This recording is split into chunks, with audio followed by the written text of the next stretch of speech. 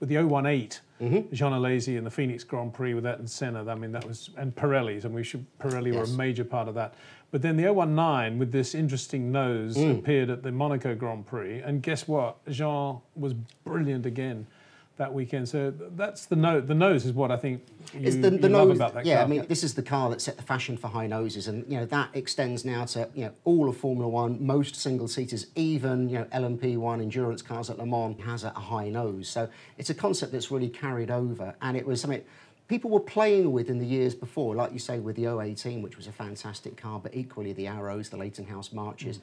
Everyone then was trying to do something more with the front wing, which yeah. had always been split by the nose cone. So what people had started to do was to actually remove the nose cone under the wing and maybe just raise a bit of the chassis.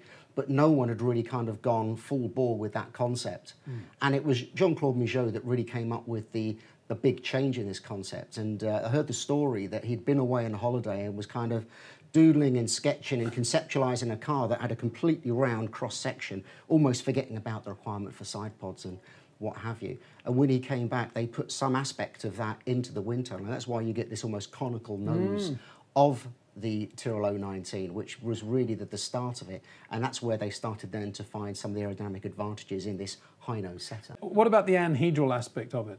Dr. Harvey Postlethwaite, you know, technical director at the time, if anyone else had gone, you know, in an aero department, had gone to the mm. technical directors, I want to raise the whole front of the car, you know, five, ten inches off the ground, the designer said, no, central gravity is way too important. Mm. But Postlethwaite understood that the gains in aero would offset the uh, losses yeah. um, from the centre of gravity. Yeah. And that's what happened. So when we look at the car, we've got an uh, illustration of the standard car here when you take the nose off, you can then see how high like the footwell area of the car is and how the suspension had to be repositioned and just how much space there is underneath mm. this area down to the ground, which was a quantum leap for anybody else because every other car used to be completely flat from all the way under the car all the way under the driver's feet and often to the very tip of the nose which would be absolutely flat to the base of the car.